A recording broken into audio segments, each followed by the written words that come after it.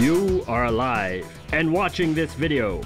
If you wish to expand your knowledge of this mysterious world, continue watching, for this means you are a seeker of truth, wisdom, and the riddles of the universe.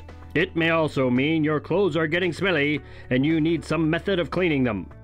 For this series is the owner's manual of adulthood, and today's lesson is doing laundry. This video will illustrate three things. First, how did you get into college without learning to wash clothes? Second, the hygienic reasons for washing clothes. Third, practical advice on said clothes washing. First, how have you made it through 18 years without learning to wash clothes? You're an adult now, so it's time to learn this basic skill. But for the moment, pause to marvel in the lifestyle which you have led, wherein you have never needed to wash your own clothes. It must be nice, fancy pants. Speaking of pants, there are many reasons to wash your clothes, chiefly hygiene. Washing clothes serves a purpose greater than making them smell nice. It also cleans them of germs that can make you sick, spread infections, or make things, well, gross. To maintain good hygiene, you should wash your clothes once per week, maybe more. Keep in mind, the longer your clothes go unwashed, the stinkier they can be. This makes them harder to clean. A special note on towels and damp clothes.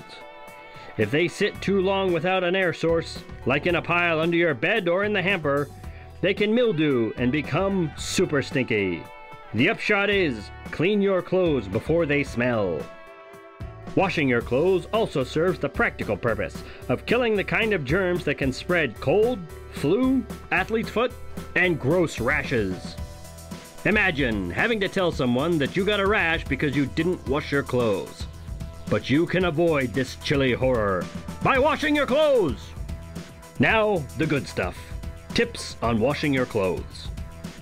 Separate clothes into two piles to ensure the dyes do not bleed into different colored clothing. Generally, it is best to divide into white clothing and colors. Check labels to see if any of your clothing items require special handling. Follow directions for those items. Wash in cold water, dry clean only, hand wash only, etc., etc.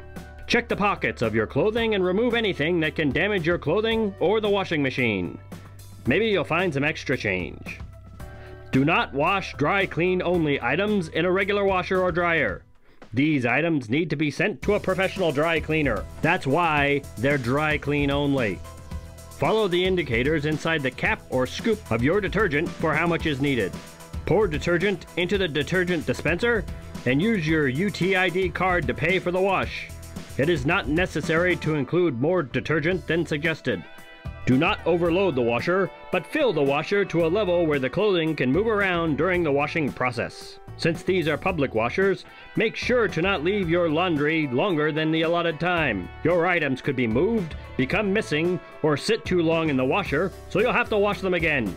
The washer door will lock in place once the washing cycle starts. If you encounter an issue with your machine, note the number of the machine and follow the signage directions in your laundry room.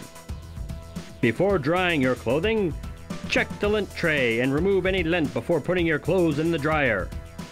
Check to make sure none of your clothing needs to dry flat instead of being in the dryer.